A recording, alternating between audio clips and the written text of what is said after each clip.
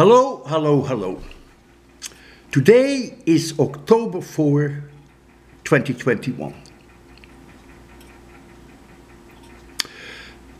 My wife and I were planning a vacation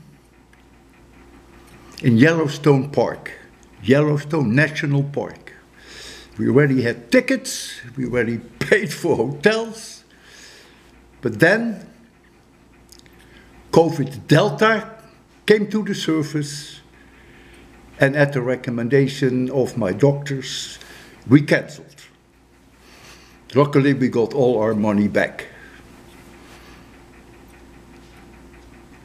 Instead, we are now going only four days to Maine, which is far north of Connecticut and even far north of Cambridge, where I also have a house.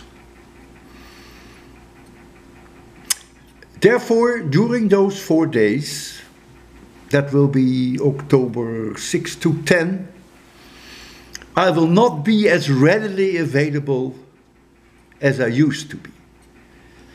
Yes, I do take my laptop with me. And yes, I will probably read your messages when I wake up in the morning, which usually is 5 a.m. for me, sometimes even earlier. And I probably will read all your messages in the evening. During the day, we will probably not be in our hotel in Maine.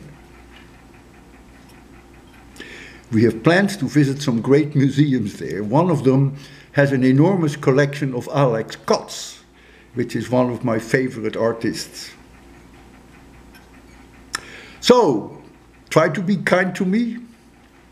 If I don't respond right away, you will understand why.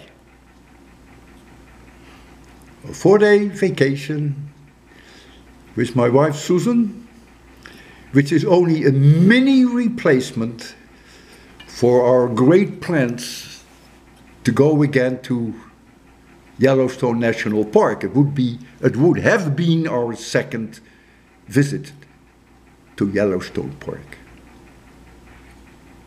So have a nice time and take care. And maybe when I see certain things on the way, I may send another video. It depends.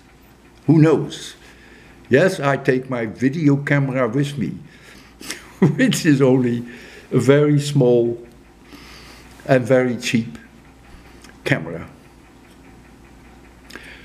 So, we'll be friends. That's always a given. And have a nice time, even though it may be without me.